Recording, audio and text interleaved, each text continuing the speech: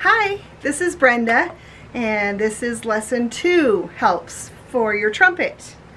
In lesson one we talked about buzzing your lips so that you can learn how to push with your stomach, make the right position of your mouth and breathe to make the noise into the trumpet. And then eventually in the trumpet.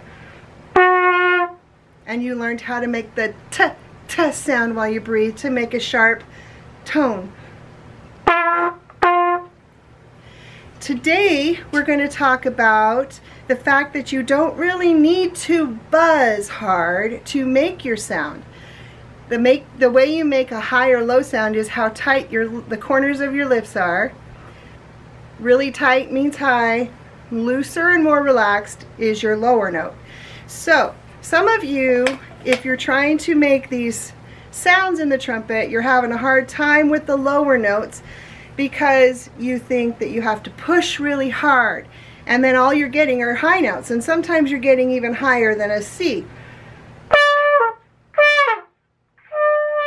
You're pushing hard and you're making these high sounds and I know you're not going to make I, I, I made an example of not staying on the same pitch because you eventually need to learn how to sustain your tummy, your breathing, your support, your lips so that you can play any note and hold it tight. And then your muscle memory gets used to what it feels like here, what it feels like here, what it feels like everywhere to make each pitch. I know what it feels like to make a G.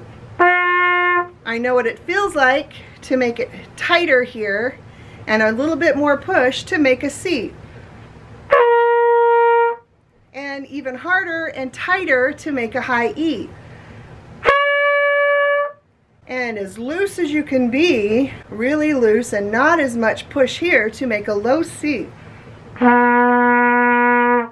So eventually your muscle memory gets used to those things. But for now, today what I want to talk to you about is to make the G, if you've been practicing with tightening and buzzing, the make the G, the concept of knowing that you really don't have to buzz when you put your lips on the mouthpiece. You don't have to go You're really only going, you're blowing through the same feeling, the same shape of your lips when you buzz, but you're just blowing. So if you just continue to make a buzz in that mouthpiece, eventually not making the buzz, but making a breathing sound, blowing through the same shape of your lips, eventually the sound will come out.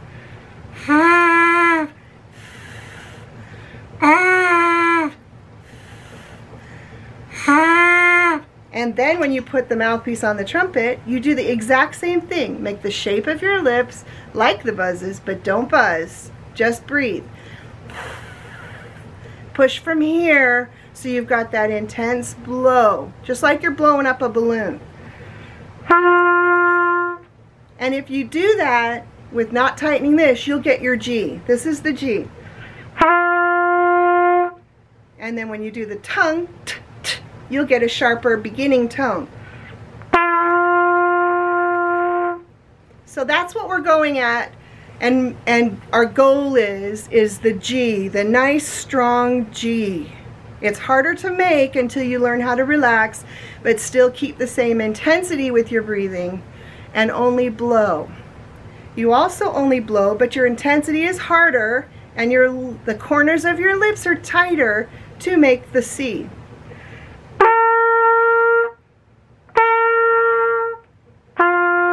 There's the G, looser here. There's the C, tighter here. You're just blowing through the mouthpiece. So, we're going to play back and forth, G's, then C's. Whole notes are circles and I'm going to paste up the pictures of the notes so that you can start to get used to them and then I'll play it with you. We're going to do four counts of G's, then a rest, which is a little bar, four counts of rest to start thinking about the high C.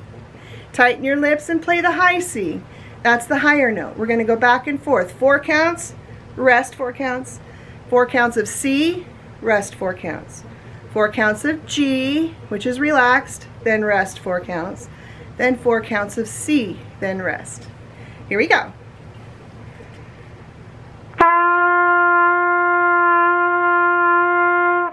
Rest, two, three, four. C.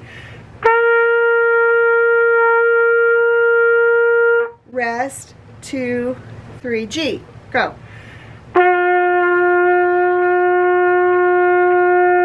Rest, two, three, four. High C.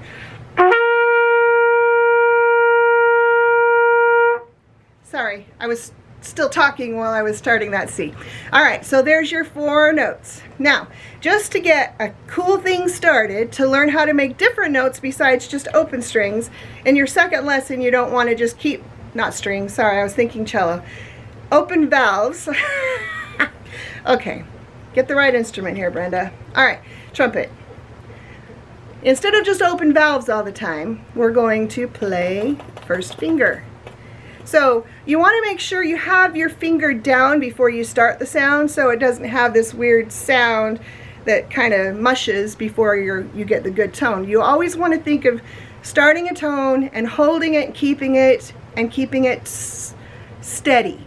All right, so from the high C, which for some of you is easier to play because you're still pushing too hard, you're trying too hard, and you haven't relaxed yet because you're not a not sure that you can still maintain your lip position, your stomach position, and then relax your lips. So we're going to start with the high C. Some of you can't do the high C's yet. Your lower notes are easier, but that's okay. You can still make a tone and hold it.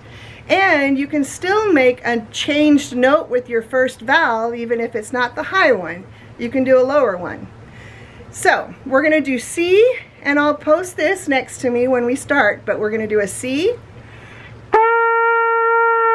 which is open, and then you're going to push your first finger down and play the same pitch, kind of, and it's going to come down a little. It's going to be a B flat. There you go. Now you've used your first finger. So open, first finger.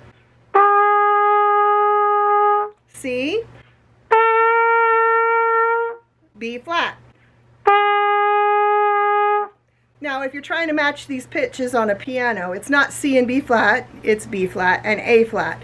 Remember that a trumpet is one step off of the normal pitch, of the concert pitch. So, there you go. We're going to play half notes now, two count notes. C, two, then rest, two, then B flat, two counts, then rest, two, and do that four times total. C, B flat, C, B flat. Two counts each. I'll post it so you can follow along with the notes so you get used to what those notes look like. Here's the C. Ready? And rest, two, rest, two, rest, two, rest, two. Good. There you go. Thank you. We'll see you next time.